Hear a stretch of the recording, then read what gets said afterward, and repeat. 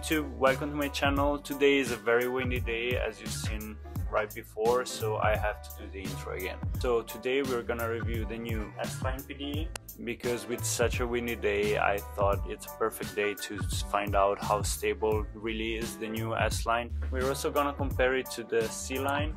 I have a yellow beaded one, uh, I used it quite a lot and a brand new one this red one. Thanks a lot to Discmania for sending out this new S-Line PD, DD3 and FD. I already reviewed the FD and it flies really beautifully. I really love it and I'm already bagging all three molds with the new S-Line plastic.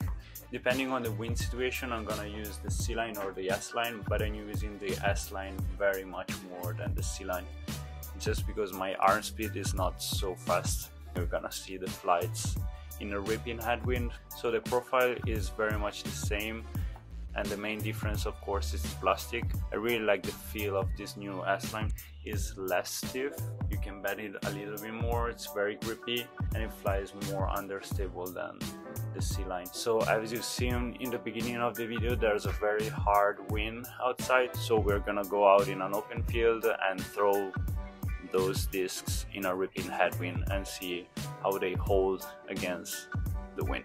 By the way, shout out to Atlas for this awesome bag and to Ultimo.cz for sending it out to me. Thank you. Yeah, again, I hope you can hear me.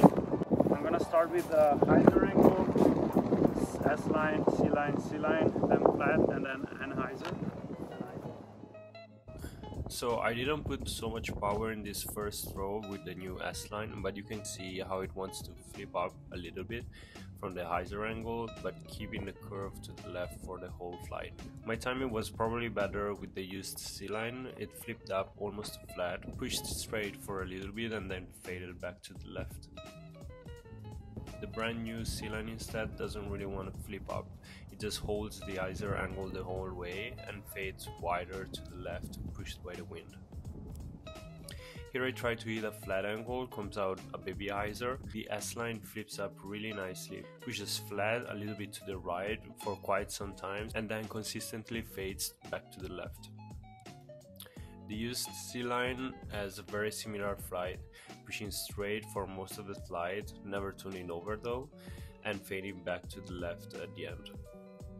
Also the brand new C-line flips just a tiny bit, but you can see that it wants to fade back to the left much quicker than the other two discs.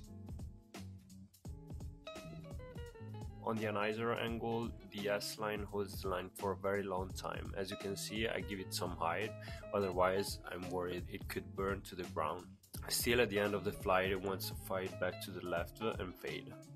Very similarly, the used C-line holds the anhyzer angle for a long time before fading out to the left, though I have the feeling that this C-line wanted to fade back a bit harder than the S-line. The brand new C-line instead holds the anhyzer angle for about half of the flight and then starts to fade back to the left, goes straight for a little bit before fading out.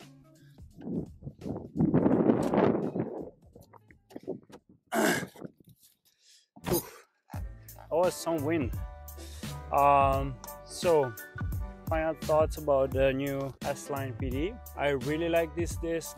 I would compare it very much to very beaded in C-Line PD, even more than this one.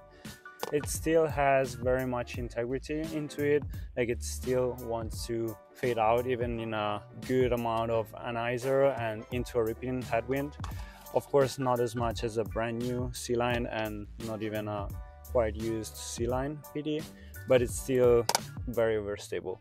I feel like it's probably the same as the DD3, where if you have a lower arm speed but you still want an overstable power driver or distance driver, the new S-Line is probably the best choice for you. But this new one, if there's no wind, it's it's really hard to get some distance uh, with it. So I think I'll stick with those two. I'll try to have my friend Mattia to guide. You can find him on Instagram at Colo Air Die. I'm gonna put the text here. Uh, thanks so much for watching the video. Please like and subscribe, comment, do all these things if you liked this review and you want more reviews in the future. I will try to do more different formats, but I'm trying also to be a better player, not just creating contents so it's really hard to do both. Um, i got really inspired by bodanza disc golf to do more contents but at the same time i already knew from my freestyle frisbee uh, career let's say that it's really hard to train hard and practice while you do videos because you have to think about both. So um, i'm gonna try to have a good balance to creating videos and training hard to get better. Thanks again for watching. I'll see you on the next one. Ciao